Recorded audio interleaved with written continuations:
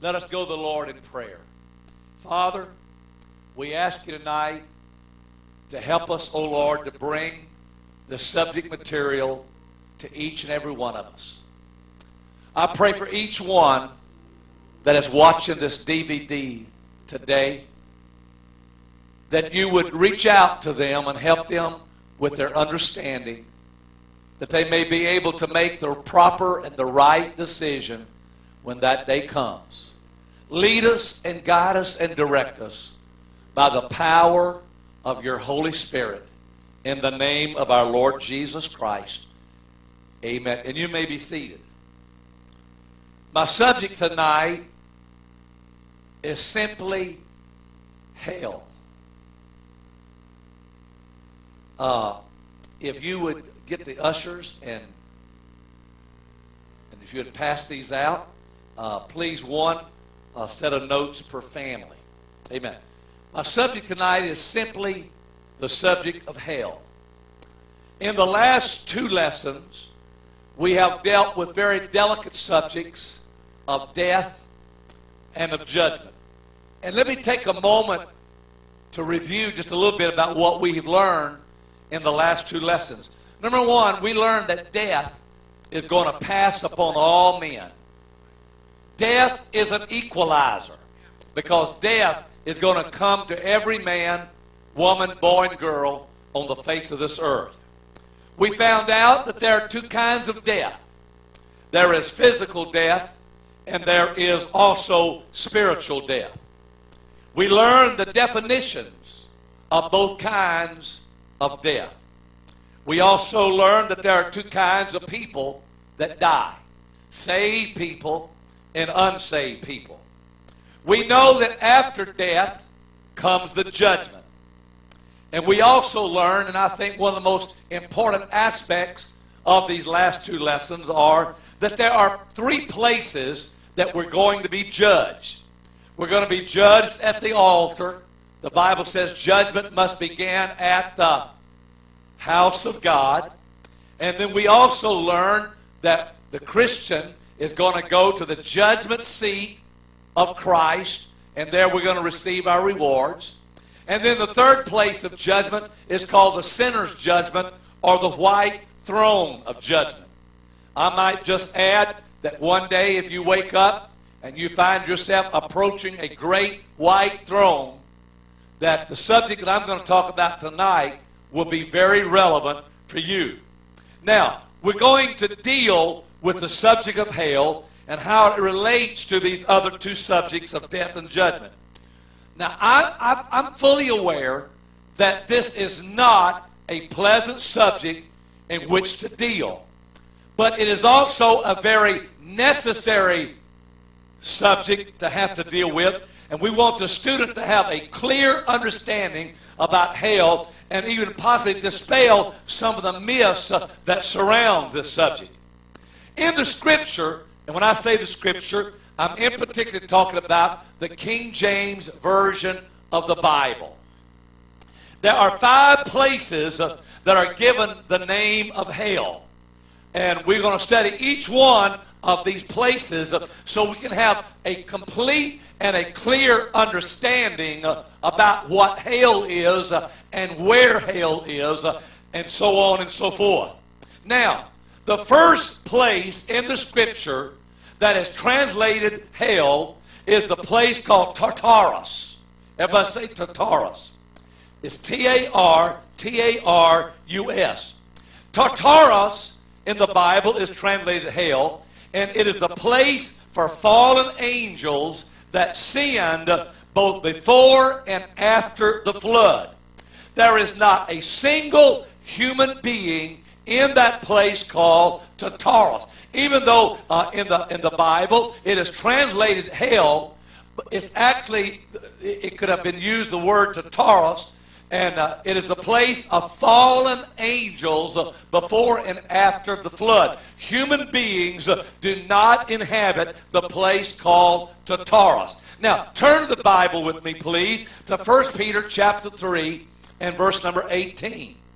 1 Peter chapter 3 and verse number 18. For Christ also hath once suffered for sins, the just for the unjust, that he might bring us to God, being put to death in the flesh, but quickened by the Spirit, by which also he went and preached to the spirits in Tartarus or in hell which sometime were disobedience when once the long suffering of, of, God waited in the days of Noah while the ark was preparing, wherein few, that is, eight souls, were saved by water. So we know that Jesus went into the place called Tartarus, and, uh, and, and there he preached in that place. Here, Tartarus is called a prison. I don't think anybody wants to go to prison. And I certainly know that I don't want to go to prison, but we do know that these fallen angels were placed in this place called Tartarus, or a prison, and is often translated hell. Look at 2 Peter chapter 1 and verse 20 and 21. Knowing this first, that no prophecy of the scripture is of any private interpretation. Now, what does that mean? No private interpretation. It means uh, that you cannot build a doctrine on a single passage of Scripture. The Bible says, in the mouth of two or three witnesses, let all things uh, be established. Verse 21 For the prophecy came not in old time by the will of man but holy men of God spake as they were moved by the Holy Ghost. Now, go to the next verse, which is 2 Peter chapter 2 and verse number 1. But there were false prophets also among the people, even as there shall be false prophets among you.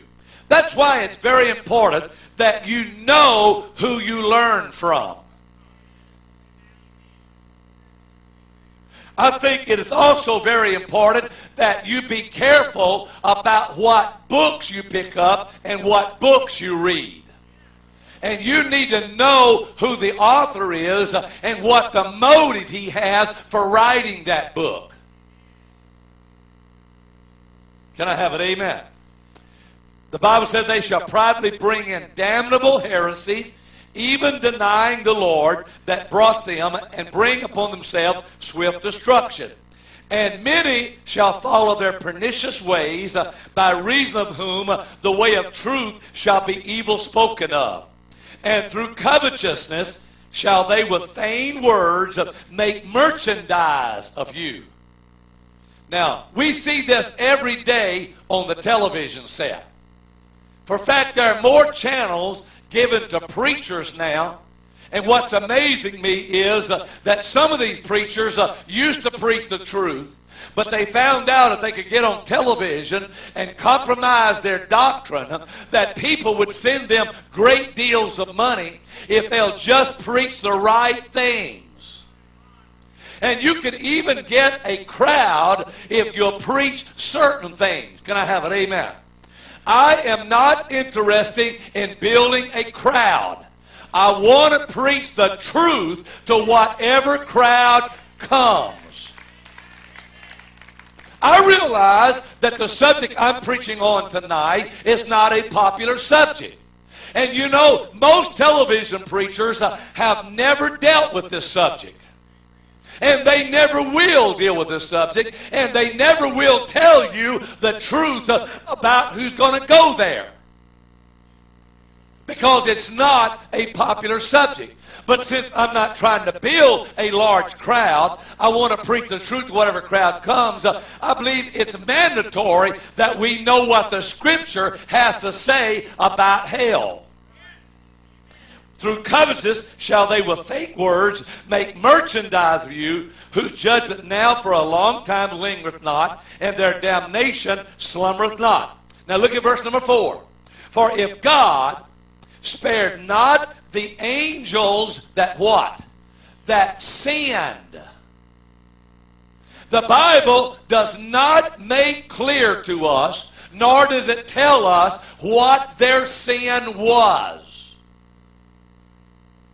But I think when I get through here, I think we're all going to thank God that the Lord removed those angels from this earth for a time, lest that sin spread within the human race.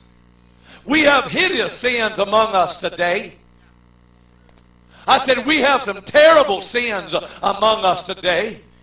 But when the Holy Spirit leaves this world via the rapture, the sins that have been hidden for thousands of years are going to be brought back to this world. And you that want to be such a sinner and be a God rejecter, God is going to make you subject to the sins that He hid into Tartarus for thousands of years. For if God spared not the angels that sinned, but cast them down to, the Bible here uses the word hell. But He cast them down into Tartarus and delivered them into chains of darkness to be reserved unto judgment.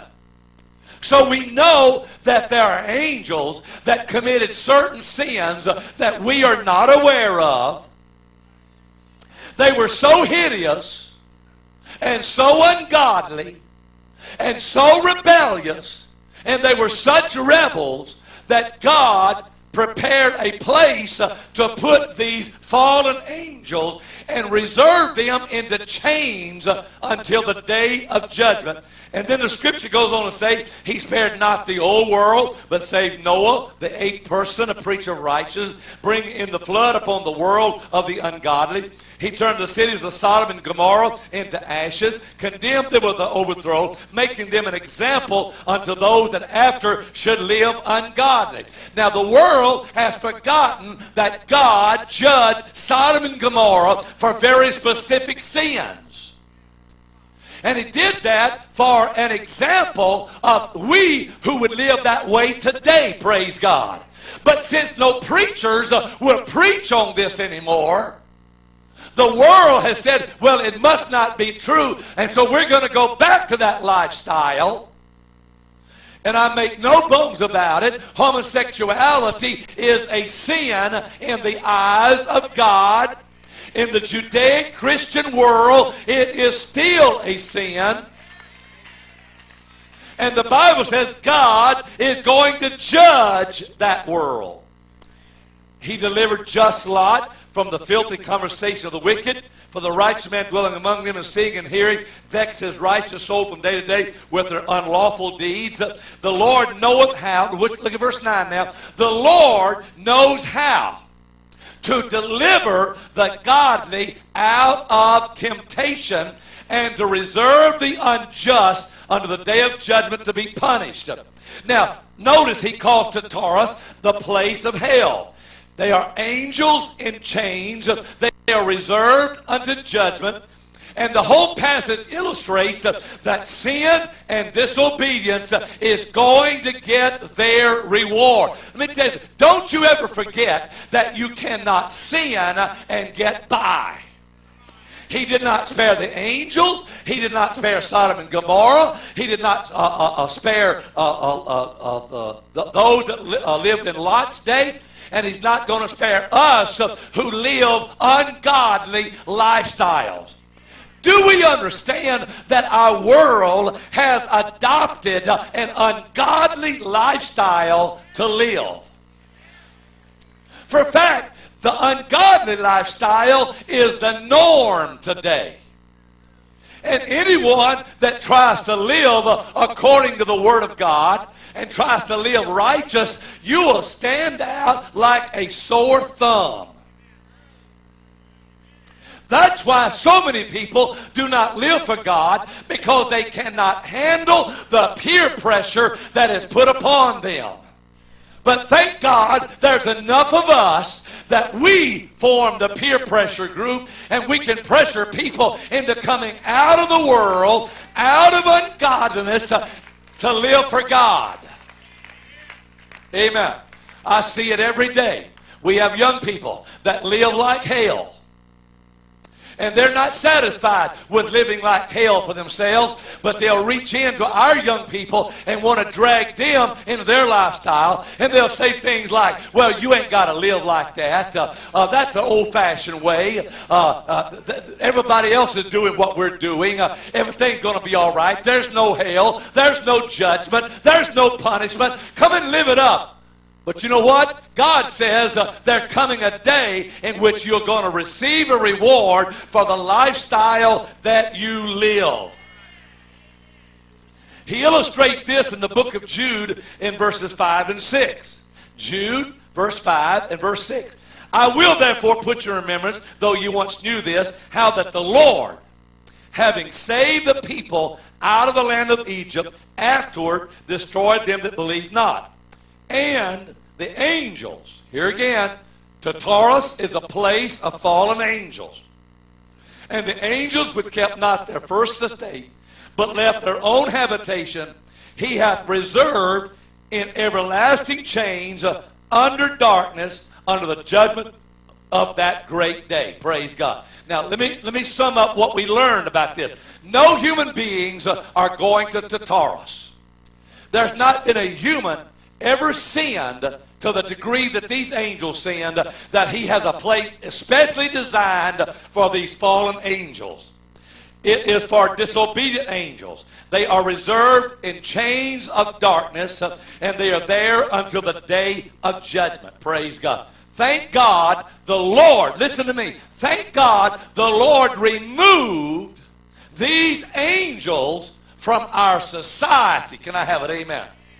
Now, the Bible doesn't say he removed all the fallen angels, but those who were disobedient uh, at, during the days of flood, before and after, the Lord has them reserved in a very special place because of their rebellion and their wickedness that they committed. Praise God. We know that there are fallen angels here right now because there's demons everywhere. Praise God.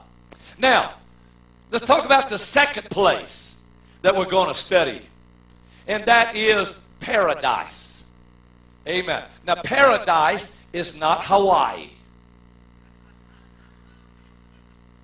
Rather, it's probably closer to Wichita. Now, what is paradise? Let me, let me give you the Bible definition of what paradise is. It is the abode of the righteous souls after leaving the body at physical death. In the Old Testament, when a righteous man died. Now, what was a righteous man?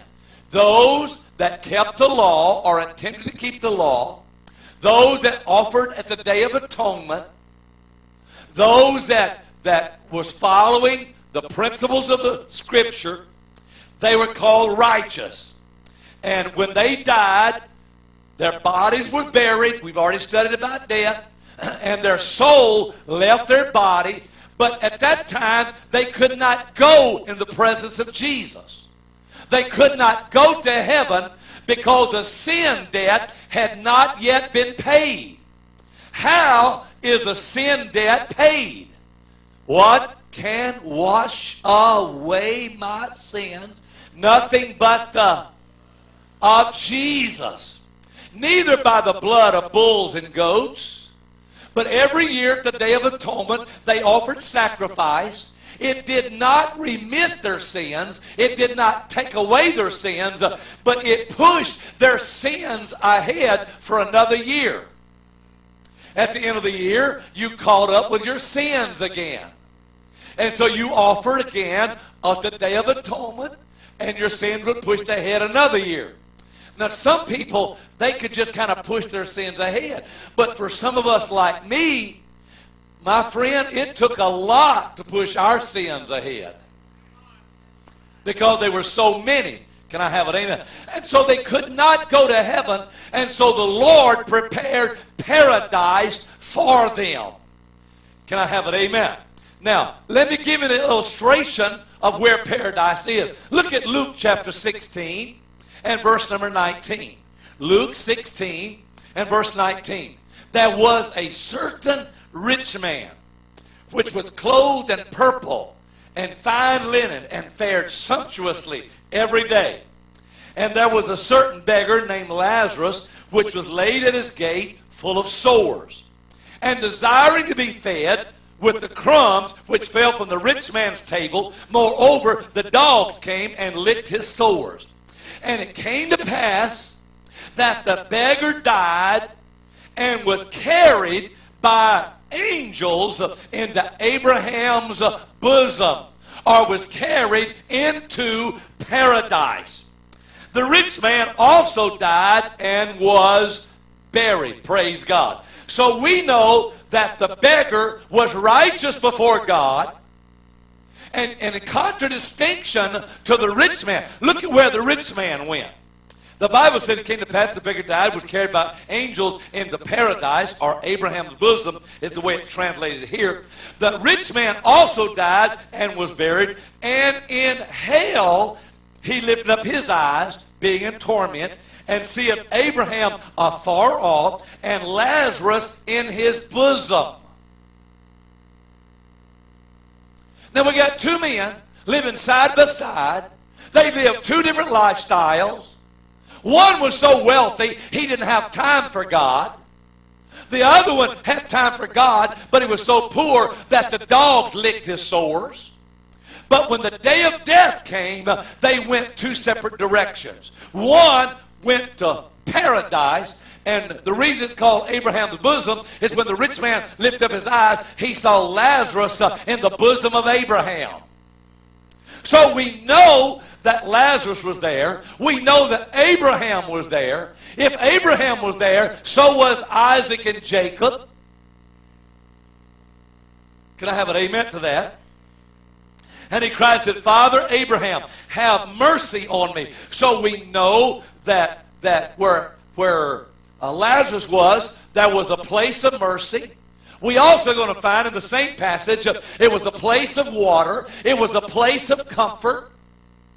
It was, as the Bible says, it was a paradise. It was not the streets of gold. It was not heaven, but it was a place of great comfort for the souls of men. Can I have it? Amen. Now, look at Luke chapter 3 and verse, uh, verse number 39. We find paradise again. Amen. If you was in the Old Testament, if you was before Christ died, and you was a follower of the law, you could praise God because when you died, you would go to a place of great comfort. One of the malefactors, which were hanged, railed on him, saying, If thou be Christ, save thyself and us. But the other answering rebuked him, saying, Dost thou not fear God, seeing thou art in the same condemnation? And we indeed justly, for we receive the due reward of our deeds. But this man has done nothing amiss. Now remember, two thieves were crucified with Jesus, one on both sides of him, on either side. And, and one man railed on Jesus and said, If thou be the Son of God, come down from the cross and save us. Now, he wasn't wanting to turn to Jesus, he wasn't acknowledging him as the Son of God, but he was making fun of him. The other thief understood why he was there, understood he was a sinner, confessed that he was a sinner, and he looked at Jesus and said, Remember me when thou comest into thy kingdom. And Jesus said unto him, Verily I say unto thee, today shalt thou be with me where? In paradise. Now, let me just share something with you. That's not the grave. The grave is not paradise. There's no water in your casket. Hopefully. Amen. But Jesus said, You're going to be with me in paradise. Now, we know that they did not bury the thief in the same tomb that Jesus was buried in. So we know this is not referring to the grave. But we know that when he died and his soul departed from that body in spiritual death, that the soul went with Jesus into paradise.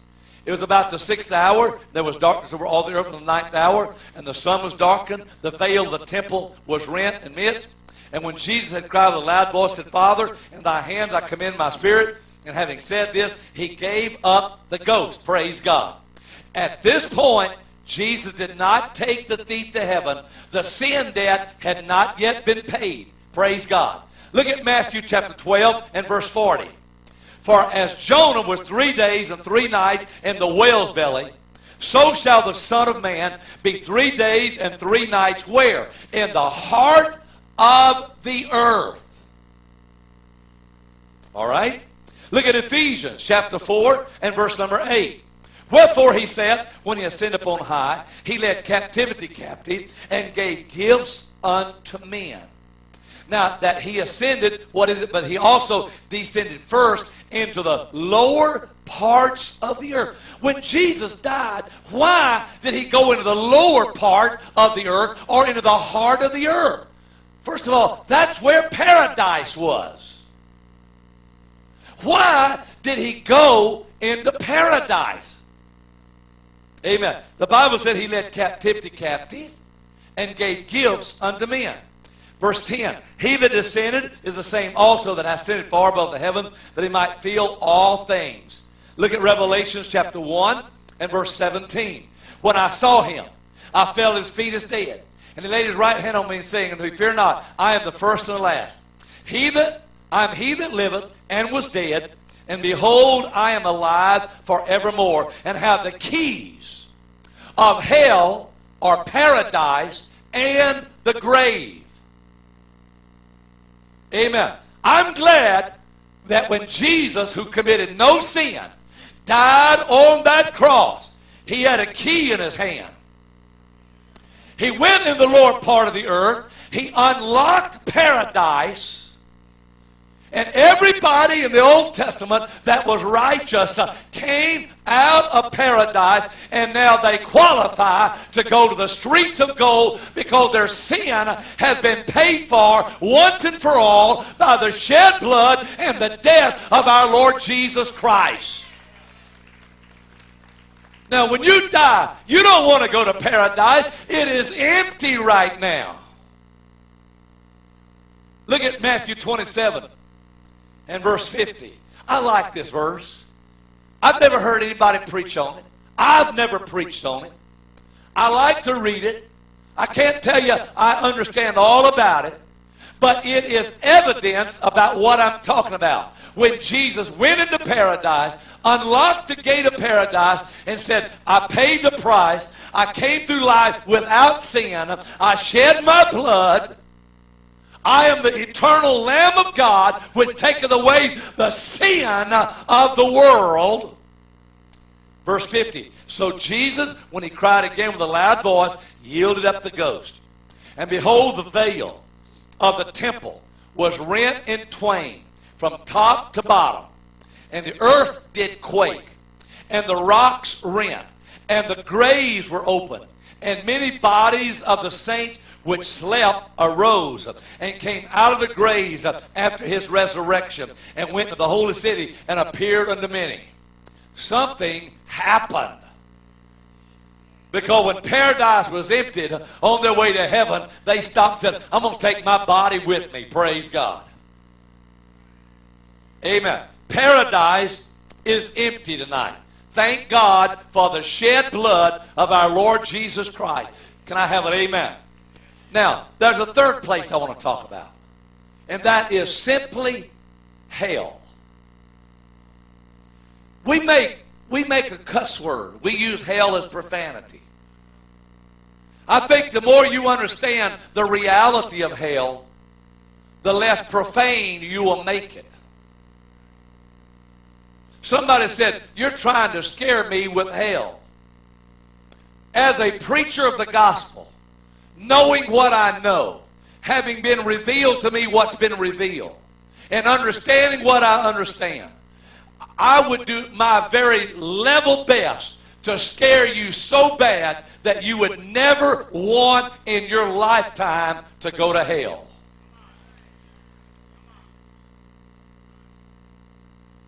Now, look at Matthew chapter 16 and verse number 15.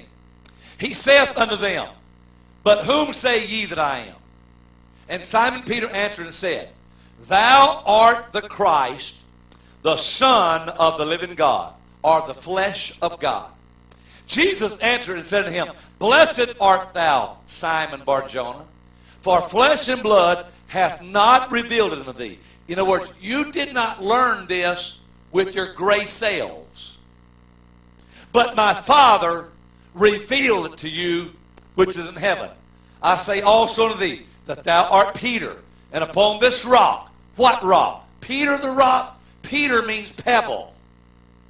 But on the rock of the revelation of the mighty God in Christ, I will build my church, and the gates of hell shall not prevail against the church. Let me tell you something. The church is greater than hell.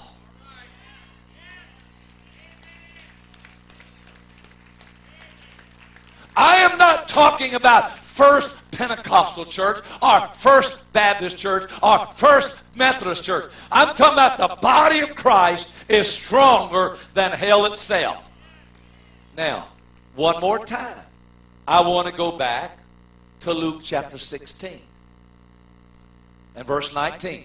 There was a certain rich man which was clothed in purple and fine linen, and he fared sumptuously every day.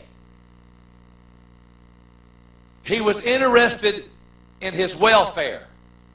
He was interested in his luxury. He was interested in his wealth. He was interested in himself. If that's the only way you know how to live, you've got to be a miserable human being.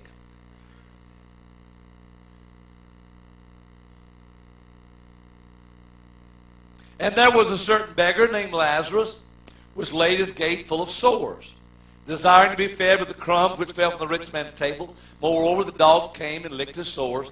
Came to pass that the beggar died, was carried by angels in Abraham's bosom. But the rich man also died and was buried.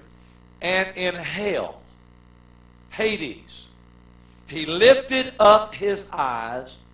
Number one, this hell has torment. You see, this flesh and blood is not you. You may paint it up, putty it up, comb it up, pretty it up, tattoo it up, pierce it up. But the truth of the matter is, you cannot preserve this body in its youth forever. It's mortal. It's corruptible.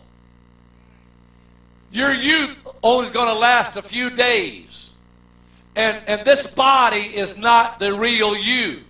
It's only the house that you live in. And one day there's going to be a separation of this body from yourself or from your soul. Can I have it? Amen.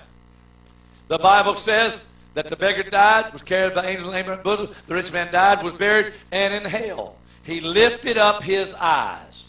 So we know his body went to the grave. But in, in hell, he lifted up his visible portion he could see with. He was conscious in hell. He was not asleep. He didn't take morphine before he went there. There's no drug that can dim that pain or that torment.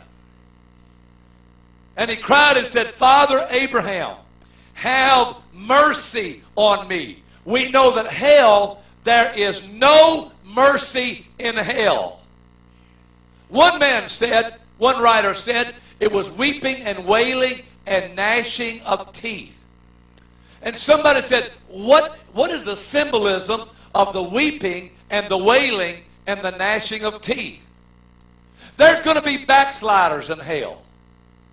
There's going to be people that used to live for God in hell.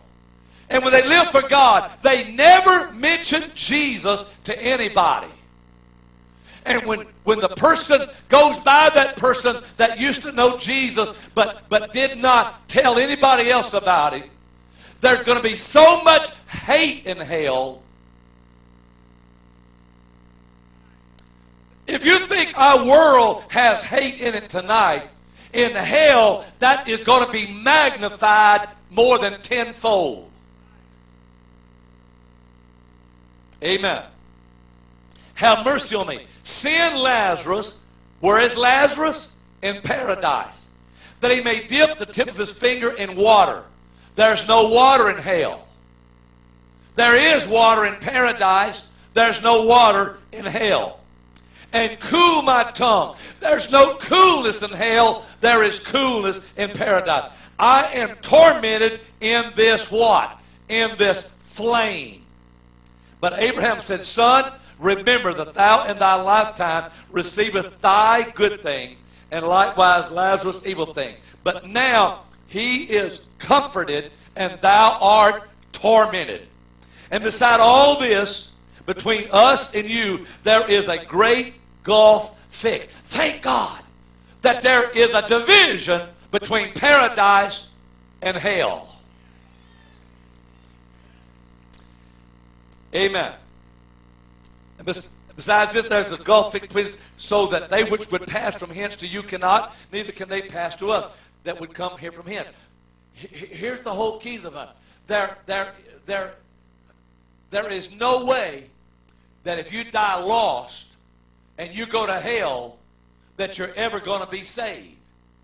The Bible says, as the tree falls, so shall it lie. If you die saved, you're going to be saved for eternity. If you die lost, you are going to be lost forever. This Bible has nothing at all to say about purgatory or about some priest praying you out of purgatory. Nobody can help you when you die. You are on your own when you pass from this life into the next life. If you die saved, praise God. If you die lost, you can never get out of being lost. You have to make your decision while you're alive. Life is a dressing place for all of eternity. Amen. Notice this. Then he said, I pray thee. So we know that there's going to be prayer meetings in hell that you would send him, that you would send Lazarus to my father's house. I have five brethren, that he may testify to them, lest they also come into this place of torment. Abraham said to him, They have Moses and the prophets. Let them hear them. He said, Nay, Father Abraham, but if one went unto them from the dead, they will repent. And he said, if they hear not Moses and the prophets, neither, listen to this, neither will they be persuaded though one rose from the dead. God did not choose resurrected or dead men to preach the gospel. He chose men that are alive to preach the gospel that you may be saved. So if you're asking God to send somebody from the grave to testify to you, it's not going to happen. You have the preachers, you have churches, you have steeples, you have Bibles here. Can I have it? Amen. We know that the beggar died and went to paradise, but the rich man died and went to hell. Let me give you some facts here. Hell was below paradise because he had to lift up his eyes. It was a place of torment. It was a place of flames. The soul is conscious. It was waterless. The unrighteous go there. When Jesus Christ died on the cross, he emptied out paradise, but he left hell's occupants there reserved to the day of judgment.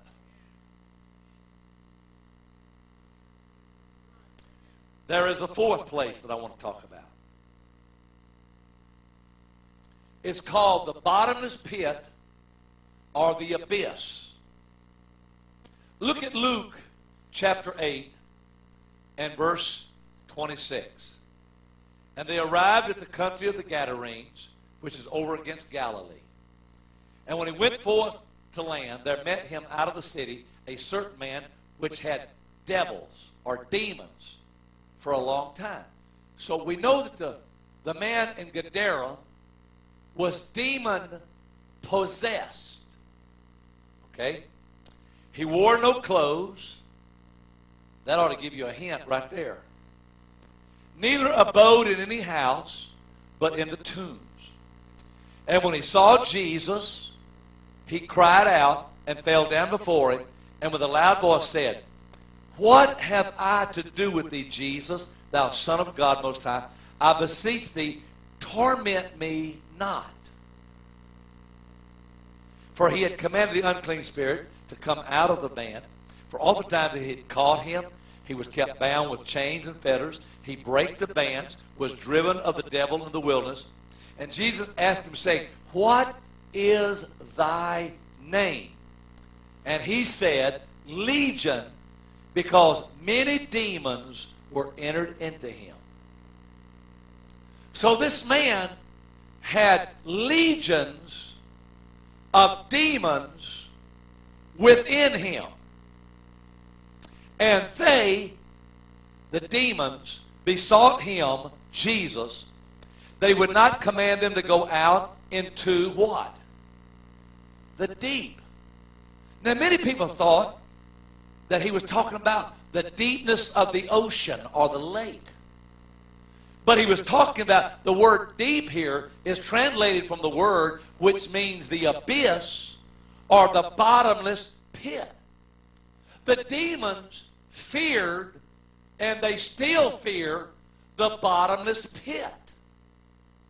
And Jesus is going to cast out these demons back to the bottomless pit or the abyss.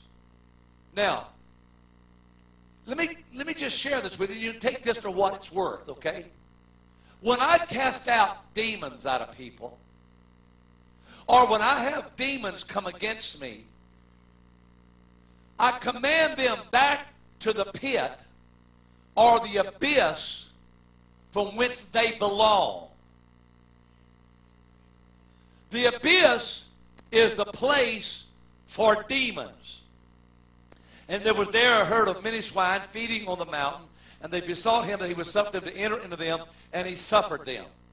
Then went the devils out of the man and entered into the swine, and the herd ran violently down a steep place in the lake and were choked. Jesus did not put these demons back into the abyss or bottomless pit, but rather they asked him to be put into the swine and when the swine, they could not handle what the man had handled, and they ran into the lake, not the deep, they ran into the lake and were choked. Amen. It is the abode, listen now, the abyss or the bottomless pit is the abode of demons. And here the word abyss or bottomless pit is translated the deep. Now, we're going to be studying a little bit more about this in just a moment. Look at Revelation chapter 9 and verse 1. The fifth angel sounded. Now, this is way after the rapture. This is during the tribulation period. I saw a star fall from heaven into the earth, and, and to him was given the key of the bottomless pit. And he opened the bottomless pit, and there rose a smoke out of the pit. Now, one of the demons didn't want to go there. And the smoke of a great furnace, so there's a fire there. And the sun and the air was darkened by reason of the smoke of the pit. And there came out of the smoke locust upon the earth. And unto them was given power, as the scorpions of earth have power. And it was commanded them that they should not hurt the grass or the earth, isn't that what usually scorpions and locusts do? Okay? These were not literal locusts, but these were swarms of demons coming out of the bottomless pit. Neither any green thing, neither any tree, but only those men which have not the seal of God in their forehead. And to them it was given that they should not kill them, but they should be tormented five months. And the torment was as the torment of a scorpion when he strikes a man. You don't want to be on this earth after the rapture.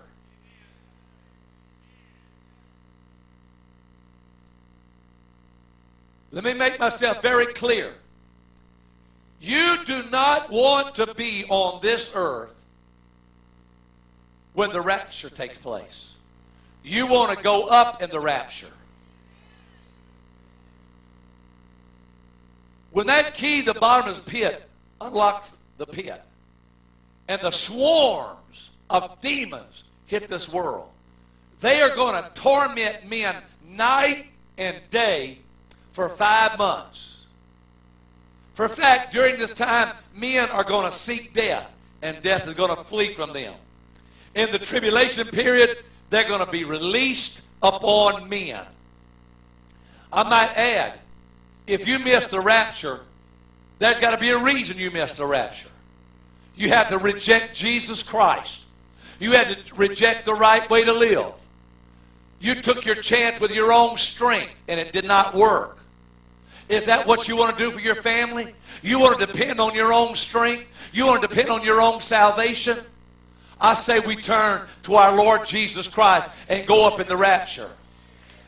You wanted to live with all the liberalism, the homosexuals, the adultery, the fornication. You want to live with the alcohol, the drugs, the gambling, the hate, the greed, the selfishness.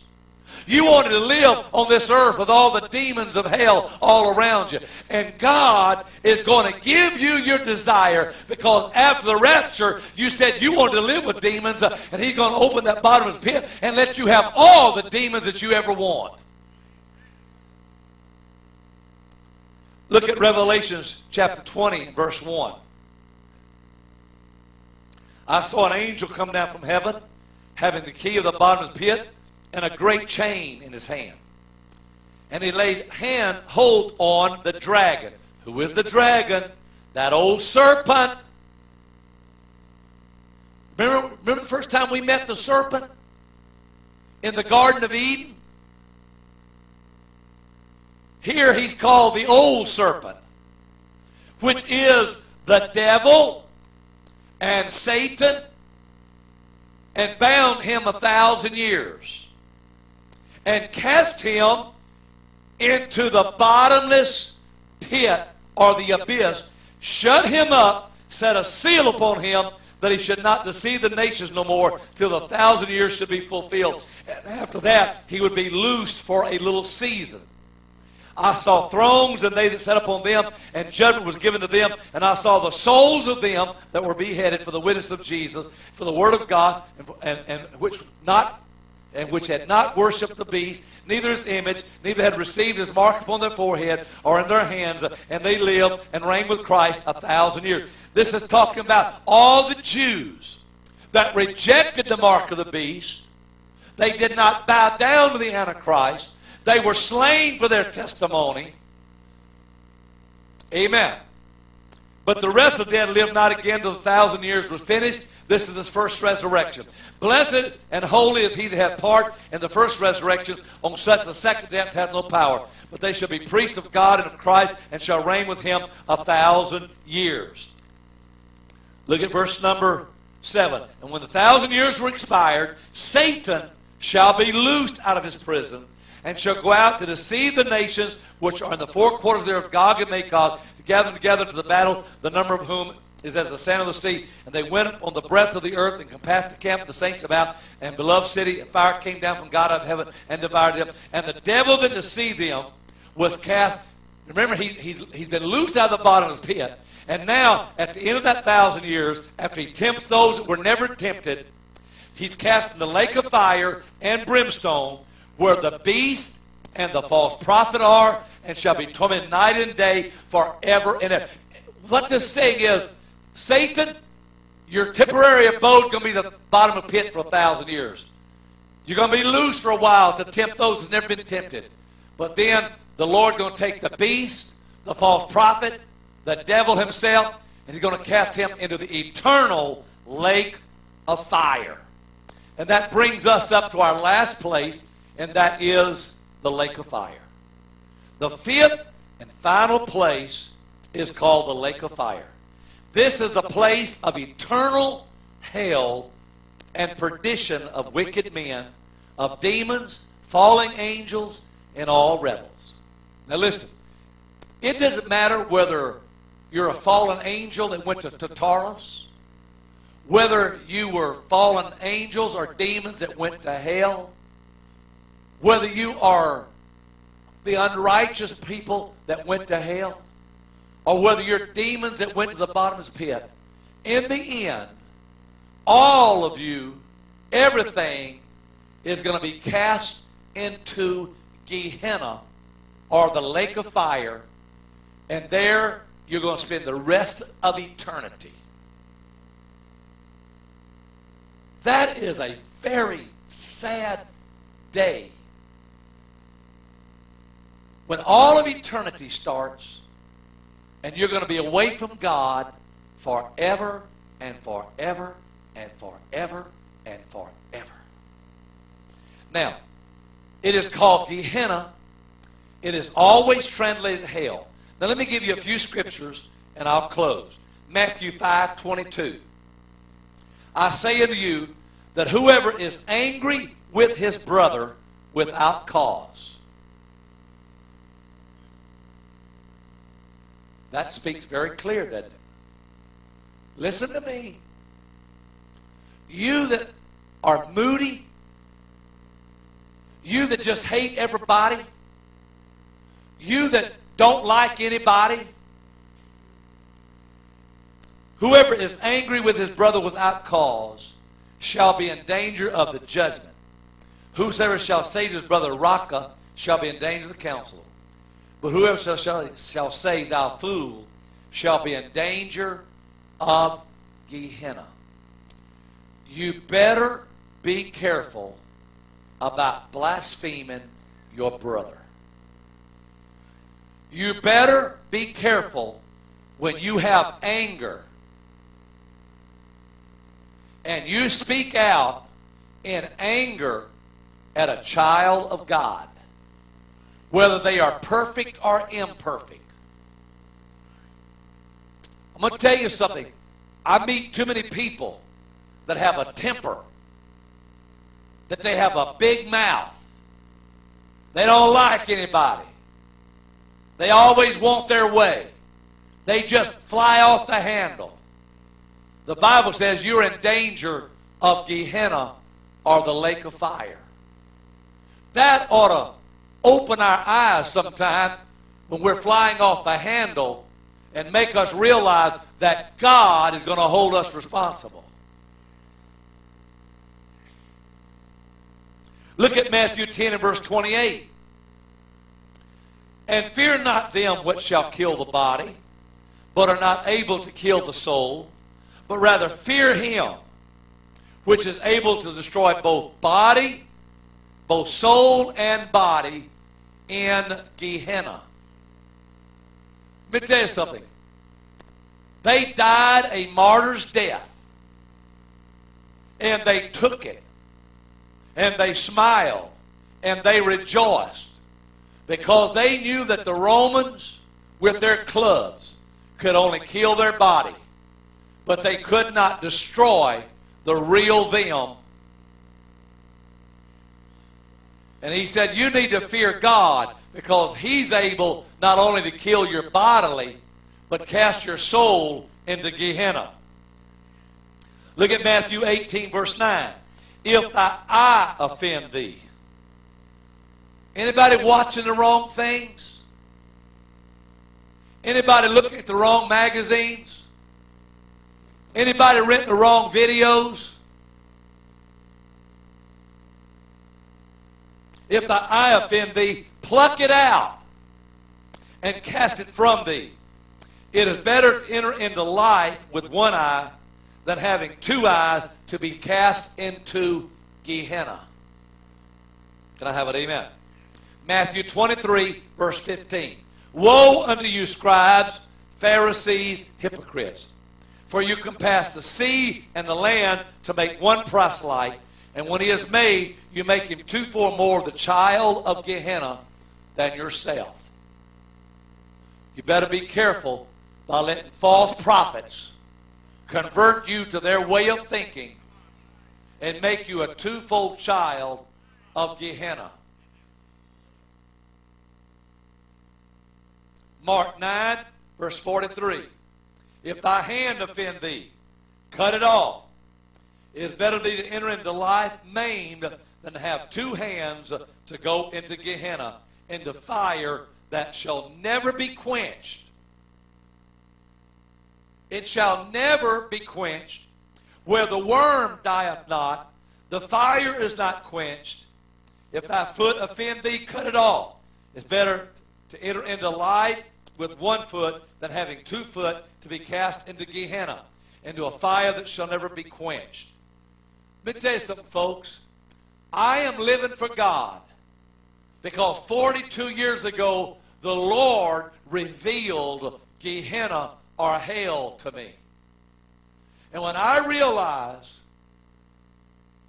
that God had given me a revelation of where I was going, I got such a fear of God that it caused me to lay down my profession. It caused me to lay down my livelihood and to start preaching the gospel of our Lord Jesus Christ. There's never a day that goes by that I don't have the fear of God in my life. And I live among people that never think about their eternal destiny one time in a month. Revelation 14, verse 9. The third angel followed them, saying with a loud voice, If any man worship the beast and his image, and receive his mark in their forehead or in his hand, the same shall drink of the wine of the wrath of God, which is poured out without mixture into the cup of his indignation. And he shall be tormented with fire and brimstone, or in Gehenna, in the presence of his holy angels and the presence of the Lamb. And the smoke of their torment ascend up forever and ever, and they have no rest, day nor night, who worship the beast and his image, and whoever receiveth the mark of his name. Let me tell you something we see the mark of the beast rising even in this present hour.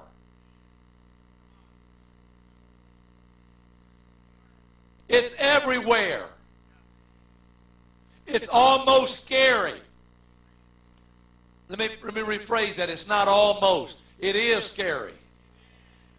I thank God we're having an outpouring of the Holy Spirit. It needs to increase tenfold from what it is right now. You say, Preacher, you're scaring me. If I could, I would. But only you can decide whether I'm preaching the truth or not.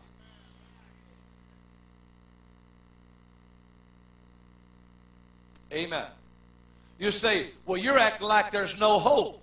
I haven't, I haven't preached no hope here tonight because the child of God has hope. Remember, we came to the altar.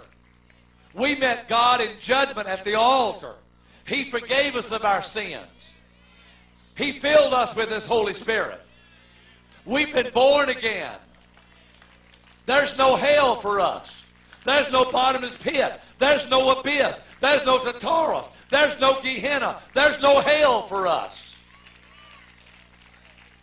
But because I know there is a hell, it keeps me from wanting to go there.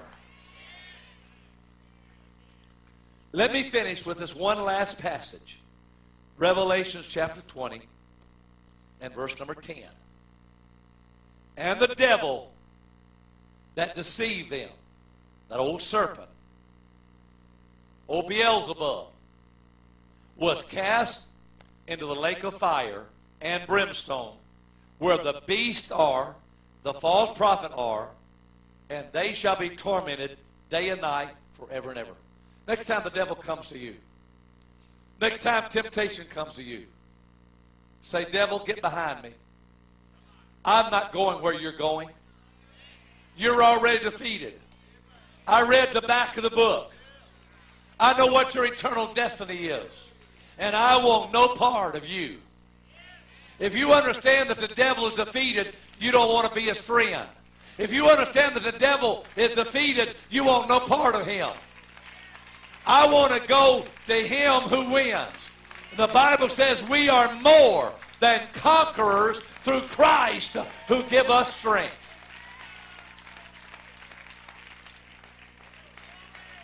Why would I want to worship the devil when I got a great God that I can worship? Why would I want to worship the things of hell when I got heavenly things that I cherish? And I saw a great white throne, and him that sat on it, from whose face the earth and heaven fled away. And there was found no place for them. And I saw the dead, small and great, stand before God. And the books, many books, were open. Another book was open, which is the book of life. And the dead were judged out of those things which were written in the books according to their works. Remember, the child of God, when you came to the altar, you repented of your sins. They went on to Jesus. He covered them with his blood. When you get there, you'll never meet your sins. But those that don't cover their sins with the blood, they're going to get there, and all their sins are going to follow right behind them. They're going to be written. Everything you do is written down.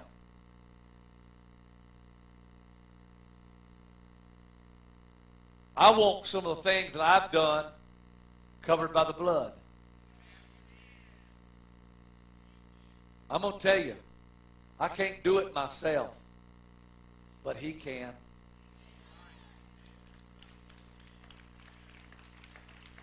The sea gave up the dead which were in it, and death, the grave, and hell, the soul. Death is the body, and hell is the soul. The, remember paradise being emptied out? Now, all of hell is emptied out. Every soul that goes to hell is going to be reunited with their body. And they were judged, every man, according to their works. And death, the body, and hell, the soul, were cast into Gehenna, or the lake of fire. Wait a minute. That's where Satan went. That's where the demons of the abyss went. Wait a minute. That's where the angels from Tartarus went.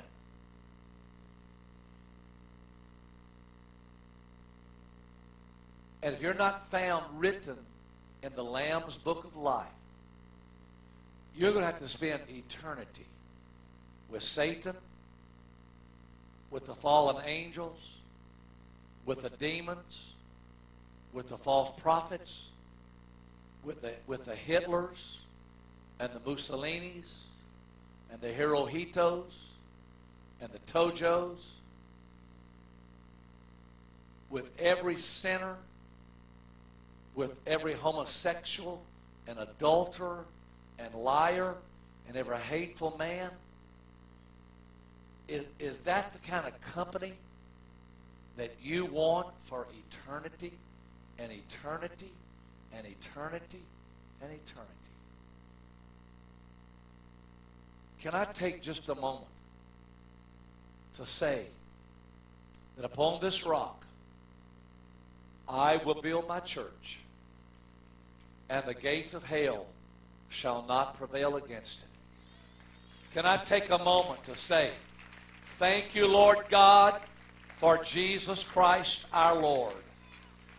Can I say thank you for the shed blood of my Lord Jesus Christ? Can I take just one moment?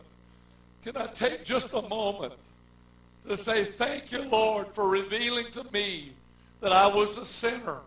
And thank you, Lord, for giving me the courage to bow my knees to my Lord Jesus Christ. And when I bowed my knees to him, he came to me and he filled me with his spirit.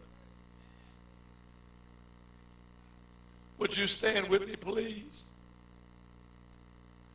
And whoever was not found written in the book of life was cast into Gehenna.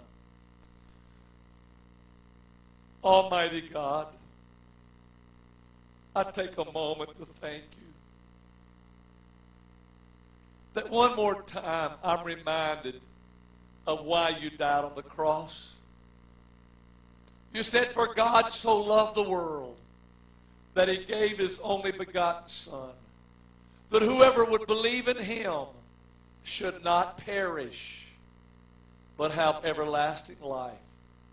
For he sent not his Son into the world to condemn the world, but that the world through him might be saved. Lord, you told them at the tomb of Lazarus, you said, I am the resurrection and the life. Lord, thank you for calling me.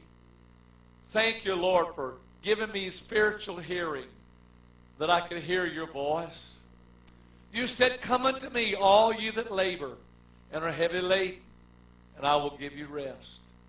You said you would in no wise cast away anyone with a broken and a contrite heart. Lord Jesus, would you lead us to repentance? Would you lead us, O oh Lord, to a cross and let us bow before you? And Lord God, I realize tonight that I have taught a very difficult lesson.